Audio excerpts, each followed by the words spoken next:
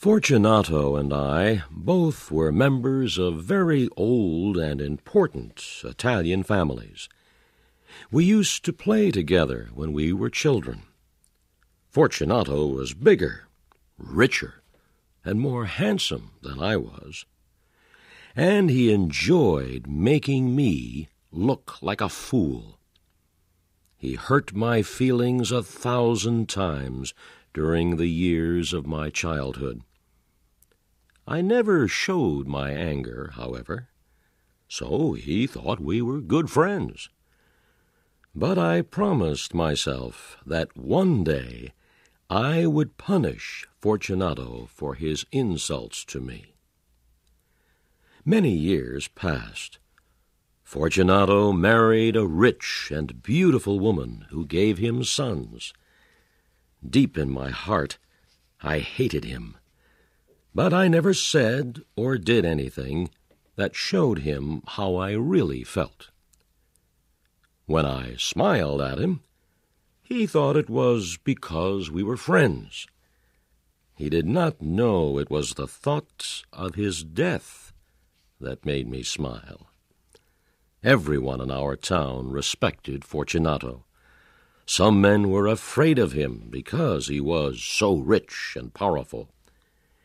He had a weak spot, however. He thought he was an excellent judge of wine. I also was an expert on wine. I spent a lot of money buying rare and costly wines. I stored the wines in the dark rooms under my family's palace. Our palace was one of the oldest buildings in the town. The Montresor family had lived in it for hundreds of years. We had buried our dead in the rooms under the palace. These tombs were quiet, dark places that no one but myself ever visited. Late one evening, during carnival season, I happened to meet Fortunato on the street. He was going home alone from a party. Fortunato was beautiful in his silk suit, made of many colors yellow, green, purple, and red. On his head he wore an orange cap covered with little silver bells. I could see he had been drinking too much wine. He threw his arms around me. He said he was glad to see me. I said I was glad to see him, too, because I had a little problem. What is it? he asked, putting his large hand on my shoulder. My dear Fortunato, I said, I'm afraid I have been very stupid. The man who sells me wine said he had a rare barrel of Amontillado wine. I believed him, and I bought it from him. But now I'm not so sure that the wine is really Amontillado. What? he said. A cask of Amontillado at this time of year? An entire barrel? Impossible. Yes, I was very stupid. I paid the wine man the full price he wanted, without asking you to taste the wine first. But I couldn't find you and I was afraid he would sell the cask of Amontillado to someone else. So I bought it. A cask of Amontillado? Fortunato repeated. Where is it? I pretended I didn't hear his question. Instead, I told him I was going to visit our friend Luchresi. He will be able to tell me if the wine is really Amontillado, I said.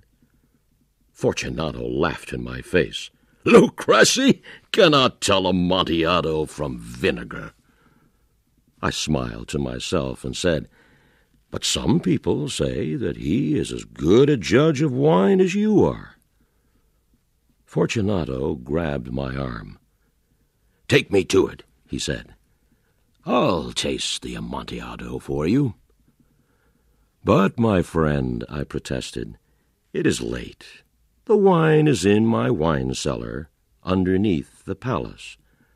Those rooms are very damp and cold, and the walls drip with water. I don't care, he said. I am the only person who can tell you if your wine man has cheated you. Luchresi cannot.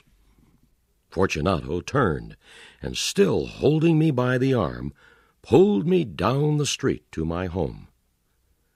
The building was empty. My servants were enjoying carnival. I knew they would be gone all night. I took two large candles, lit them, and gave one to Fortunato. I started down the dark, twisting stairway with Fortunato close behind me. At the bottom of the stairs, the damp air wrapped itself around our bodies. Where are we? Fortunato asked. I thought you said the cask of Amontillado was in your wine cellar. It is, I said. The wine cellar is just beyond these tombs where the dead of my family are kept. Surely you are not afraid of walking through the tombs? He turned and looked into my eyes. Tombs? he said. He began to cough. The silver bells on his cap jingled. My poor friend, I said, how long have you had that cough? It's nothing, he said. But he couldn't stop coughing.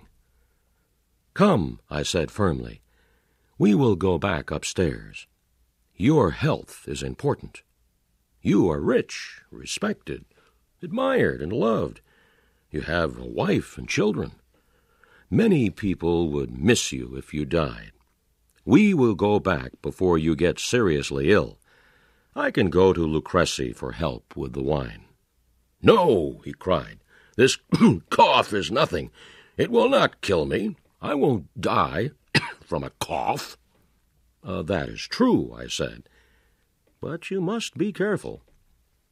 He took my arm, and we began to walk through the cold, dark rooms. We went deeper and deeper into the cellar. Finally, we arrived in a small room. Bones were pushed high against one wall.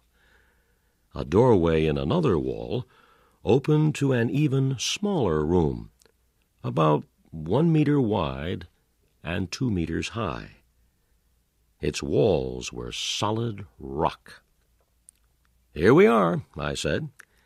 I hid the cask of Amontillado in there. I pointed to the smaller room. Fortunato lifted his candle and stepped into the tiny room. I immediately followed him. He stood stupidly staring at two iron handcuffs chained to a wall of the tiny room. I grabbed his arms and locked them into the metal handcuffs.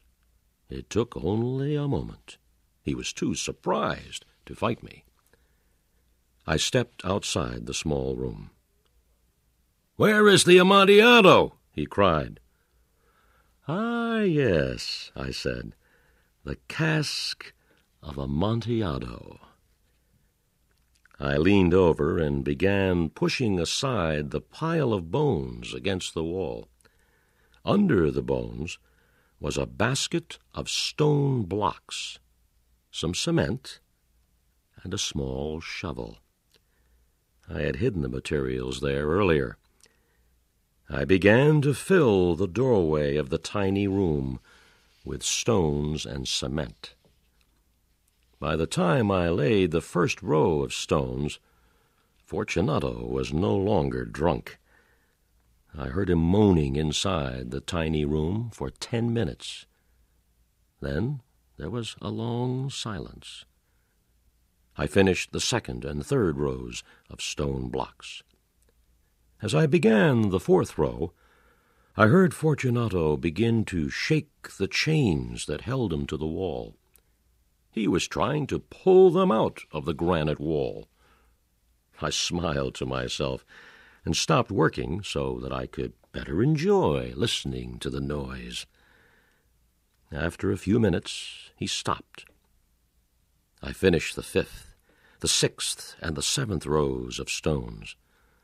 The wall I was building in the doorway was now almost up to my shoulders. Suddenly, loud screams burst from the throat of the chained man. For a moment, I worried. What if someone heard him? Then I placed my hand on the solid rock of the walls and felt safe. I looked into the tiny room where he was still screaming, and I began to scream too. My screams grew louder than his, and he stopped. It was now almost midnight. I finished the eighth, the ninth, and the tenth rows. All that was left was a stone for the last hole in the wall. I was about to push it in when I heard a low laugh from behind the stones. The laugh made the hair on my head stand up. Then Fortunato spoke in a sad voice that no longer sounded like him. He said, Well, you have played a good joke on me. We will laugh about it soon over a glass of that Amontillado. But isn't it getting late? My wife and my friends will be waiting for us. Let us go. Yes, I replied, let us go. I waited for him to say something else. I heard only my own breathing. Fortunato, I called. No answer. I called again. Fortunato. Still no answer. I hurried to put the last stone into the wall and put the cement around it. Then I pushed the pile of bones in front of the new wall I had built. That was fifty years ago. For half a century now, no one has touched those bones. May he rest in peace.